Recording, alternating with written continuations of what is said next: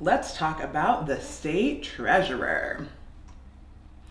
As the state's chief financial officer, the treasurer provides for the banking, financial, and investment needs of a state's government. Revenues and other funds collected by the state agencies are transmitted to the treasurer daily. The treasurer is responsible for distributing these funds to state agencies, counties, cities, and school districts. The treasurer is the custodian for all state-owned investments, securities, bonds, stocks, etc., including 30 billion in state pension and accident insurance funds managed by the State Investment Board.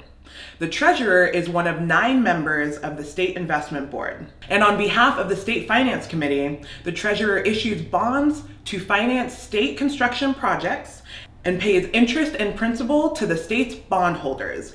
The treasurer chairs the Public Deposit Protection Commission, which ensures the safety of all public deposits held in qualified commercial banking institutions in the state.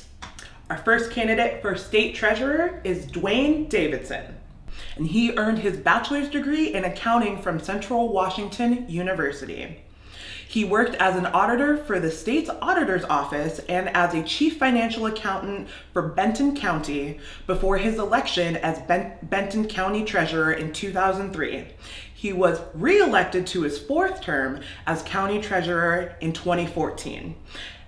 As of the 2016 election, Davidson served as a president of the Washington Association of County Treasurers and as a treasurer for the Kiwanis Club of Tri Cities Industry Foundation.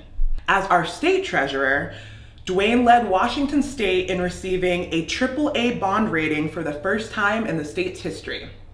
The office also developed the Washington State Fund Directory, which allows state agencies and local governments to more easily find resources available for financing projects.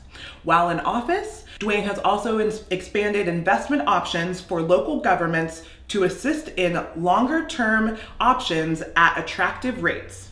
He has also created a financial education outreach division working to educate local communities and families to take control of their personal finances, further bettering our great state. Our second candidate for state treasurer is Mike Pellicciotti.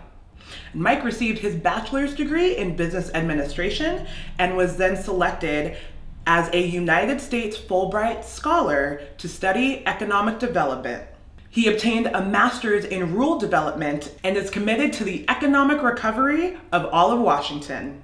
While at Gonzaga Law School, he led a national initiative to reduce student loan debt for those in public service and later served on the board of regents of Gonzaga University. He championed open government laws and was the first legislator to call on the legislature to make legislature's records available to the public while also voluntarily disclosing his own.